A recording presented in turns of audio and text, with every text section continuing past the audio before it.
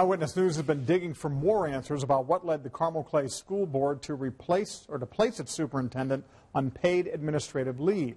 Nicholas Wall's seat was empty when the board announced that decision last night. The district is giving us little explanation for what it's calling a thorough review of his leadership. Since then, we've learned that Carmel Police is not currently investigating Wall. In the meantime, until this is completed, Amy Dudley and Roger McMichael will serve as interim superintendents.